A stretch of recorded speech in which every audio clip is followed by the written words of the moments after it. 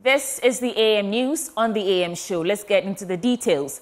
Chairperson of the National Commission for Civic Education, Ms. Kathleen Addy, has cautioned politicians to desist from campaigns based on ethnicity and religion as it may threaten the peace of the country.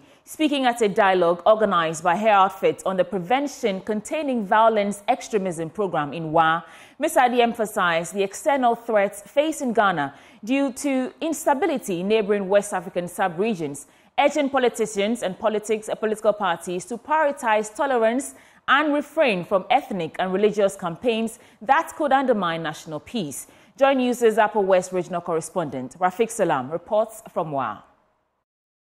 The National Commission for Civic Education NCCE convened a critical dialogue as part of efforts to address potential threats of violent extremism and terrorism during the forthcoming election under the European Union sponsored project codenamed Prevention Containing Violence Extremism PVCE in Ghana.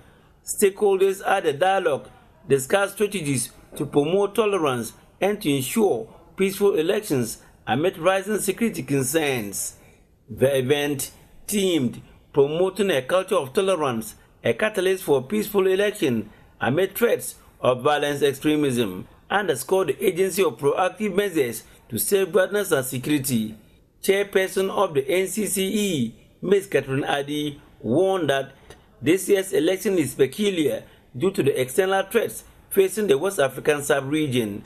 This election year is peculiar due to this external threat we face. And today we want to make the point that this election year, more than ever, we need to foster a culture of tolerance so that violent extremists and other malign forces do not take advantage of our vulnerability stemming from intense political campaign. She on politicians to resist from campaign based on ethnicity and religion as it may threaten the peace of the country. Ethnicity-based campaigns whereby political actors will say, because I'm from this place and you are also from this place, I deserve your vote. Or I am the one that you should vote for. Or I'm your natural ally because I come from where you come from the threat that we face, the actors who represent that threat, always look for divisions amongst people where they can insert themselves, amplify differences, amplify disagreements, and take advantage of that to disrupt states. So religious intolerance is another uh, avenue for people to promote general intolerance and therefore create deeper divisions and therefore make us more vulnerable as a country. The dialogue featured a talk provoking panel discussion which featured persons from varied backgrounds. Daniel Osebonsu from the National Security, Dr. Tobias Shiri from AZD Yobets, and Abu Dukoui Al Hassan from CAPEX when we touch on issues of violent extremism, radicalization, terrorism, sometimes we make a very difficult notion by stating that there is a coming anarchy. There's something coming from somewhere. But I'm sorry, I have to disappoint you. The threat is already within. We're already dealing with the threat. It's with us. Normally, we talk about media sensationalism, but the one point we normally make is the point about giving unequal access to actors in the political space. One day, we are journalists. Today, if you interview me from party A and don't interview from party B, you are engaged in an exclusionary action. Within this context of discussion, I would say that if, if you are intentionally using your political power to intentionally exclude any individual from accessing state resources, you are a terrorist. You are a terrorist. So in discussing terrorism or extremism, we need to ground our discussion within uh, context-related factors. Participants engage in an open forum, sharing insights and concerns about election security and the role of communities in safeguarding peace. We must learn or we must teach people that there are consequences to certain kinds of behaviors. So if you were violent in an election and the police gets hold of you, we must all learn to contribute to allow the law to take its course. Um, I think that a lot of these problems we're talking about start with the indiscipline that we promote in our communities and everywhere. As Ghana braces for a pivotal election, the dialogue served as a timely reminder of the need for vigilance and unity in the face of evolving security threats. Reporting for Joy News, Rafik Salam. Former CEO of the Mental Health Authority, Dr. Akwasi Osei, is pushing for the implementation of a mental health levy as a crucial step towards the development of mental health in Ghana. Speaking at the launch of a book, Letters of Hope to My Younger Self, spearheaded by the Abakato Anda and Zob, uh, Zob Baraka, he emphasized the importance of political will in supporting this initiative, citing the already passed mental health law and policy as a framework for such actions. Dear Mary, you're nine years the book Letters of Hope to My Younger Self, featuring letters written by prominent Ghanaians to their younger selves, was spearheaded by Abba Ketu Anda and Zoe Baraka. It aims to inspire and uplift today's youth by sharing the wisdom gained from life experiences. Speaking at the launch, Abba Ketu Anda emphasized the importance of activities like journaling in promoting mental health. It's incumbent upon us to talk about mental health, to talk about ways of strengthening our mental wellness. It's a hygiene, it's like hygiene, like physical health, mental health and wellness is a, involves practices. You know, physically you get up, you brush your teeth, you take a shower, practices. Spiritually, you'll say your prayers and so on, and that's spiritual health. Well, for mental health as well, there's specific practices that one should practice, not just when the times are tough, but every day, you know, uh, and, and these are things like journaling, learning how to express your feelings, learning how to when things go bad, reframe the situation and find the good in it or the hope for better tomorrow. Zoe Baraka highlighted the role of reading in building a mentally resilient society, urging increased government investment in this area. I'm so glad she talked about journaling, and that's what storytelling does. When you when you hear other people's stories, it gives you hope to realize that you too can get out of where you're coming from. So honestly, when you asked about what we would recommend to the government is to honestly pour a lot of money or resources into reading and into libraries and into uh, giving people the power to be able to share stories in safe spaces. Former head of the Mental Health Authority, Dr. Kwesi called on the government to show commitment to mental health policies and laws, including passing the mental health levy for improved services. We have a mental health law, we have a mental health policy. All it requires is for us to adhere to the law, adhere to the policy, and we are through. Everything we need to, we need to ensure mental health is taken care of is there in the law or in the policy. But the, the political will for us to implement, that is what is lacking. For instance, the law talks about the implementation of a mental health tax or levy, and we don't have the will to implement the tax. I know this is not the best time to talk about taxes. Uh, the president is trying to remove a lot of taxes, I know. But this is a tax with a difference, a tax with a difference. And I believe that if you ask any average Ghanaian that what do you make out of a tax to help with mental health care, everybody will say, let's have it.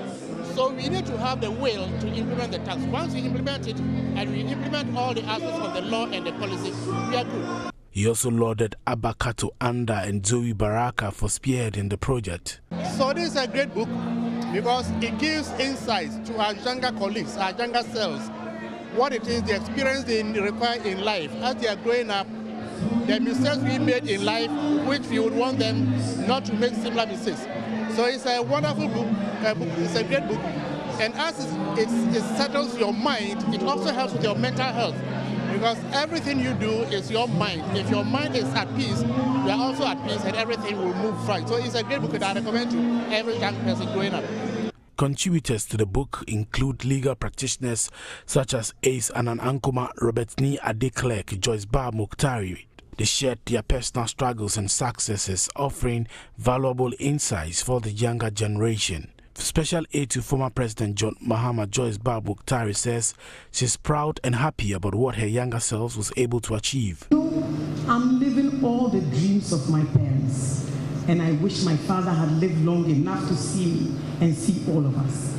But my biggest inspiration will certainly always be my parents, my mother in particular.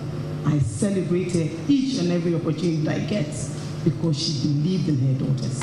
She gave us every opportunity and opened every door that she possibly could through the baking, through the shena, through the creams that she was making, through the clothes that she made for us. I am today my mother's daughter and largely my father's daughter. Let's do some Easter Rhapsody now because the Joy FM Easter Soup Kitchen train was at the Senior Correctional Center, formerly known as Borstal Institute, to spend some good time with inmates. The prison facility is home to 10 of minors who are sentenced to jail for various crimes. The Joy FM team, led by Programs Manager Edem Naite, took the Easter Soup Kitchen to the inmates, spreading some hope and love to inmates. James Avedzi has more in the following report. Just like tradition, your superstation Joy 99.7 FM held this year's Easter Soup Kitchen at the Senior Correctional Center, formerly called Borstal Institute, to break bread and dine with inmates.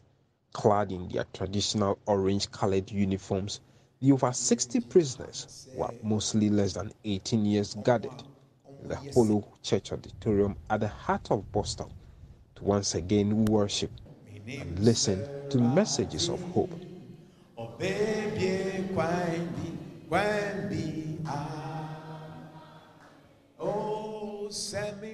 Programs manager Joy FM Edem Naite first explains reason for the gathering. Every year on either Easter Sunday or Easter Monday, what we do is that we go out and we share with our brothers and sisters who are underprivileged, just to mean that um, sometimes they don't have so much. Um, we've gone around a lot of places, and this year we decided that we want to come and spend some time with you. In the midst of the merrymaking, I caught up with some of the inmates who shared their stories with me. One of them, Kweku, not his real name, who is still a teenager, said he was charged with defiling a fellow 16 year old girlfriend at the time and was sentenced to three years in prison.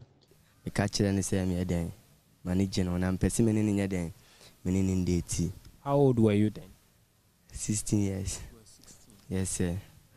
But na akɔyɛ sɛ saa mmerɛ no nyinaa no wii ne adeɛ a meɛ dɛn mehyɛ menyɛ hwee so my mother you started smoking at 16 they send the girl to hospital and they do some uh, and the doctor uh, text the doctor uh, told them that someone have slept with.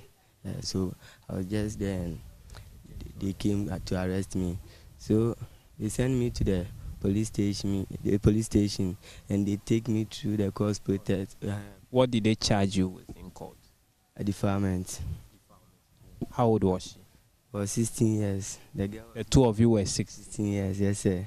So, uh, so they took me through the court process and I was jailed for two years. He says since he was brought in two and a half years ago, his mother, whom he stayed with at the time, never came to visit him. He believes his mom is still angry at the turn of his life, despite her several warnings and advice. He wishes he would meet her someday and tell her how sorry he is. So my mother used to wake me up early in the dawn, maybe about uh, around four o'clock. Then you start advising me, advising me, but I didn't, didn't, I refused to listen. So do you look forward to seeing her? Yes, sir. Or you wish you wouldn't go back to her house? Oh, sir, I wish I would go out and see her. If you go and meet her for the first time, what would you tell her? Oh, I would just plead to hear that all what I did, I've regretted. So he should what? Find a place in her heart and forgive me. His colleague Mensa, also not his real name, who was 17 years at the time, said his offense is a crime he didn't commit murder of a colleague student. So at that time, now we started fighting. Ah, so my friend is talking. Like, fighting with the junior. Yeah, with the junior. So I decided to slap his face by, like he block it. So the time he block it now, like, ah, like he started like he did shake. So like he's forcing to wake up by, he cannot. So the eyes is doing like the eyes is pumping and like yeah coffee yeah foam is coming. Ti ɛkɔ hospital na headmaster no emergency room ɔbaeɛ na asɛm a ɔka kyerɛ me sɛ you kill someone. Looking back, he wished he could turn the hand of time to undo what had happened. Ti sɛ nka mewɔ abotire anaasɛ like nka masua biribi sɛ woforo obi a na ɔsɛ ɔma ɛwɔ sɛ wogya no ma ɔka na no deɛ bi sɛ like woforo bi a na sɛ ɔma a na kyerɛ sɛ nipa no biribi wɔ ne ho ɛwɔ sɛ wogya ne mensa has an advice for the youth mpɛ sɛ meka kyerɛ mo sɛ abrabɔ no woyɛ small boy na wosi so a ɛwɔ sɛ woba fam ɛna ɛwɔ sɛ wode ade bɛto tim sɛ sɛ woyɛ gigigigigigigi na wonya asɛm a like woyɛ gigigigi no wonya nya asɛm a wohu ne sɛ wodeɛ woa na woyɛ ɔga bae sɛ wonya asɛm a ɛna wobɛhu sɛ ogigigi no a no ɛnkɔ baabiaa resident pastor at Joy FM, Mike Kalabose shared words of encouragement with the inmate and prayed with them. Nothing goes for them. It is the desire of many to grow up, you know, amongst their family but how things happen along the line before you realize you're somewhere else. But the most important thing is that you need to know who God is because the Bible says the fear of the Lord is the beginning of wisdom. May they continue to be under your shepherdship and rulership. We shall be careful to say thank you when these ones go out and become great personalities when they go out to become excellent personalities, when they grow out to become that which you've intended for them. In Jesus' name we have prayed. The team handed packs of food, assorted drinks, water, and other items to the inmates. Superintendent in charge of operations, Abbas Bio Sama, expressed appreciation at the kind gesture. I'm so happy to the extreme because uh, normally what we need is to get people from outside coming to our aid like this. Our reformatory system, in fact, the government is doing his best to ensure that we reform this image. But the, his best is not enough. So normally we rely on these philanthropies and these NGOs to come to our aid. After all the excitement and the jamboree that took the minds of these teenagers off their predicament temporarily, it was now time to leave them to their fate, to continue the daily battles and face the consequences of their actions, even as the gate of Bosta closed behind them. Boys shall indeed rise again.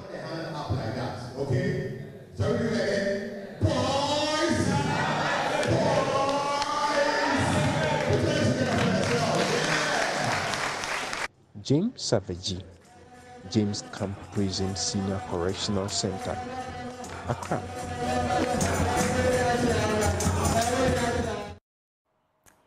Right, now that the Easter is over, let's move on. Muslims observing the holy month of Ramadan have two main meals, the iftar and the shuhur.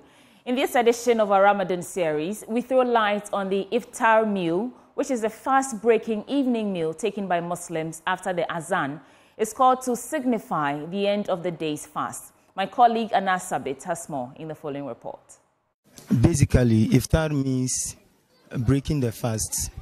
It could be either at the end of the day when the sun sets and Muslims are breaking their fast, and it, it could also be wrapping up the month of Ramadan. Iftar traditions are celebrated all around the world with celebrations, togetherness, and sumptuous meals. Traditionally, Ramadan fast is broken with dates, water, and then followed by a light meal. However, there are a range of food items that are made especially during Ramadan and are known all over the world. This feast of breaking the fast is usually done in a much more celebrated format in advanced Muslim countries. Hardly do you see it observed in such a manner in our neighborhoods here in Ghana. Malam Imran Armiao shares with us the relevance of this meal, particularly when held together as observed today.